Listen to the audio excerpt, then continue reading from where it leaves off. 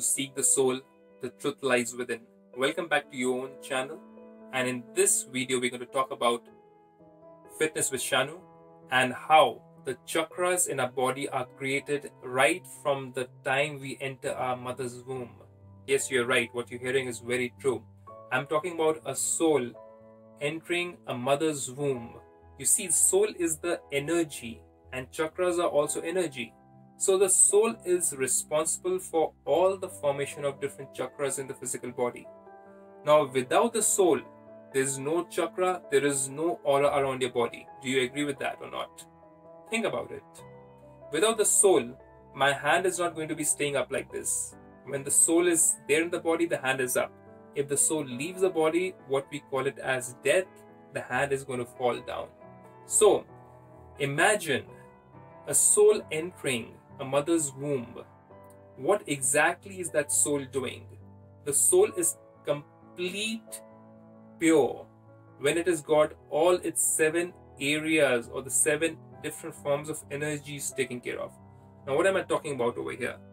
See, these energies are very spiritual energies. It has got nothing to do with your physical power, it has got nothing to do with your electrical energy or any other form of energy. This is a spiritual energy like love is a spiritual energy. You can feel love, but you cannot touch love. You can feel peace, but you cannot touch peace. So you're getting what I'm trying to say over here. We are going from a physical to a non physical. Exactly. This is a physical body and it is being controlled by the non physical.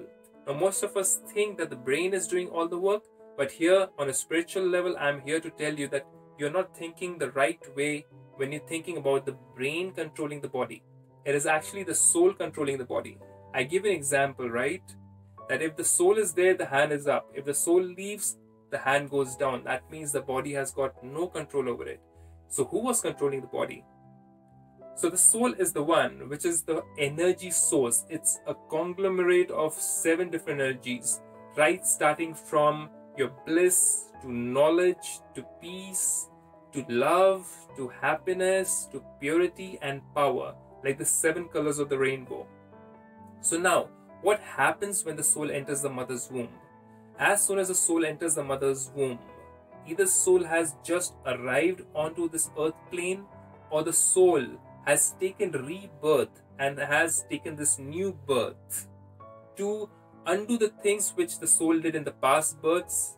That means to balance out the things in this life or to create new karmas or purer karmas till the time it purifies itself completely and goes back up. You're right. We are going to talk about purification of our karmas and purification of our chakras. They're actually interrelated. So keep on watching because I'm going to talk about all these things by the end of this video and also in the next episode too, where we are going to explore how exactly do we use our thoughts and also how we use mudras, that means the mudra asanas, to balance out all the energies in our body. So, talking about the different energies.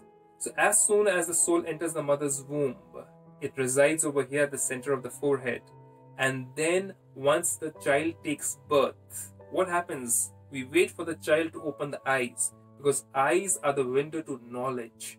Eyes are the ones which take knowledge first, even before the child understands the words through the ears, and even before the child start, starts talking. So, as soon as the eyes open up, we start taking knowledge completely. So, soul starts taking knowledge. So, this is the Agya Chakra, or the chakra of complete knowledge, which is the third eye. Now, this chakra is color indigo. So, the indigo color is decided by the amount of knowledge. So if you have divine knowledge, pure knowledge, then this chakra is very powerful and activated.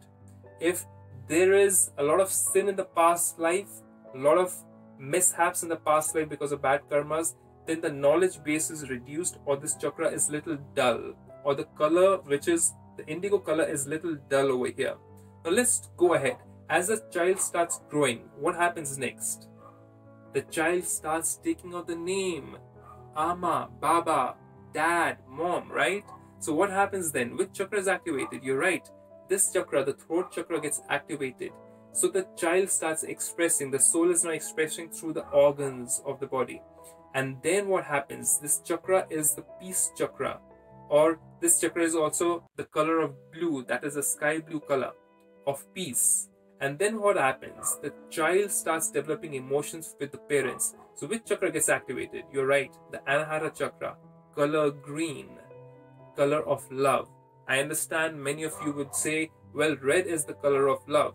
But here on a spiritual basis, everything is different. Green is the color of love. So this chakra gets activated. Next, what happens? The child grows even more. The child has got a lot of education. The child has maybe some degrees. The child is reaching the age of, let's say, 17, 18, and it has got the first high school or the class 12 or the metric or whatsoever degree it's got, and it has attained those mark sheets. It has got an ego of male or female. It understands what is rich, poor. It understands so many other things of life. So now what is this? This is the ego chakra, the solar plexus chakra. You see, this chakra is the one which gets butterflies in your stomach when you're standing in front of the camera or when you're sitting in front of somebody who's elderly and you're giving an interview or you're sitting for some kind of any kind of preparation or recitation in front of masses in school if you remember so what happens? You have the butterfly in your stomach. That is the feeling I'm talking about. Which is the chakra of happiness or unhappiness? This chakra is yellow in color. So the child starts to feel different emotions now good and bad, guilt and happiness, or ego or humility. Now, what happens next? The next chakra is the sex chakra. Now, till the age of 18 in majority of the countries, I would say this chakra gets overactivated even before 13. A lot of children are into sexual activity even before the age of 10 in some countries. Believe me or not. So this chakra is getting activated much more before it is supposed to be.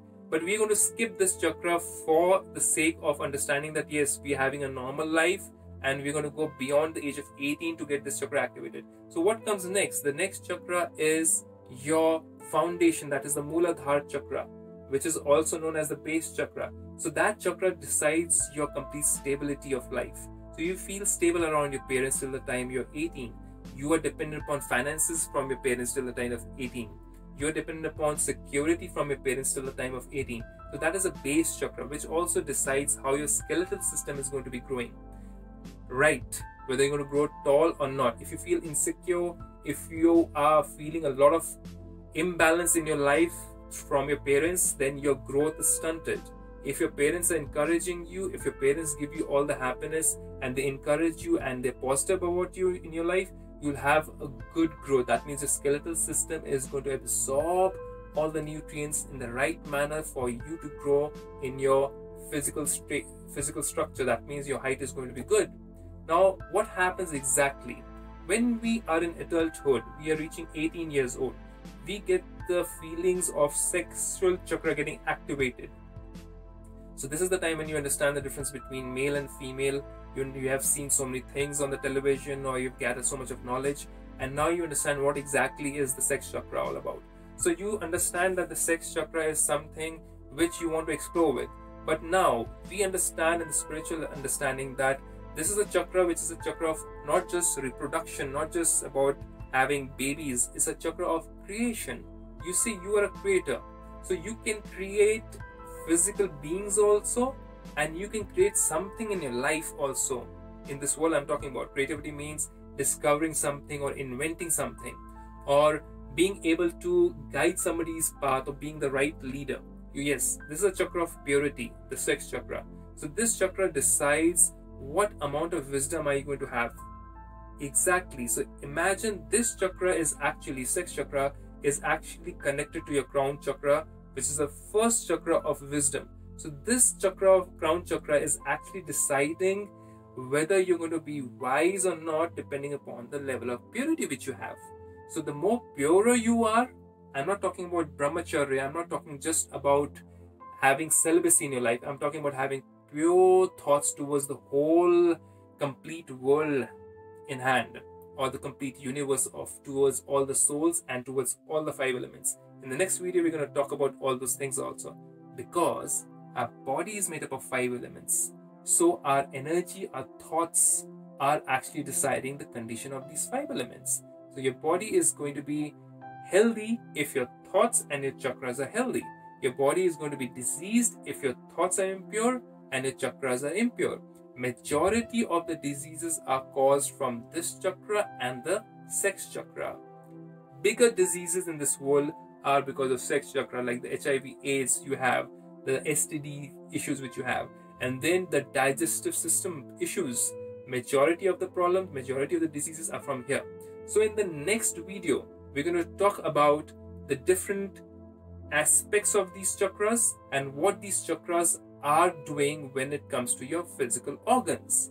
So let's go ahead and see the next video now.